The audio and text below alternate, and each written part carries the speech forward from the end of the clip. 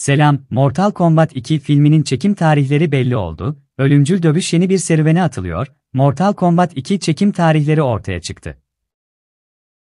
Ölümcül Dövüş filminin yapımcısı, devam macerasının nerede çekileceğini de duyurdu. Mortal Kombat 2 çekim tarihleri belli oldu. Filmin yapımcısı Todd Garner çekimlerin ne zaman olacağıyla birlikte nerede yapılacağını da doğruladı. Yeni film, 1997'de beyaz perdeye gelen Mortal Kombat, Annihilash'ının kritik ve ticari başarısızlığından sonra film serisini yeniden başlatan 2021 yapımı Mortal Kombat'ın devamı niteliğinde olacak. 2021'deki yeniden başlatma filmi büyük ölçüde karışık eleştiriler aldı.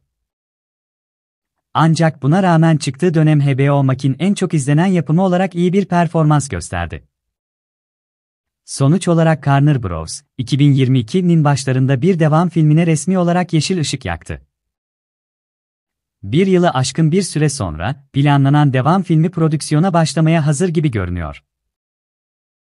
Todd Garner, Twitter hesabı üzerinden Mortal Kombat 2'nun çekimlerine ne zaman başlanacağını ve nerede geçeceğini doğruladı.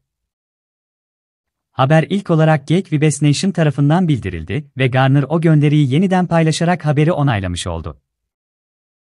Paylaşılan bilgilere göre çekimlerin Haziran 2023'te başlaması ve Avustralya'da gerçekleştirilmesi planlanıyor. Mortal Kombat'ta Güney Avustralya'nın çeşitli yerlerinde çekildiği için bu bilgi şaşırtıcı değil. Ayrıca çekimler yaklaşık 3 ay sürmüştü. Yani Mortal Kombat 2 bu zaman çizelgesini takip ederse Eylül ayında tamamlanabilir. Hoşçakalın.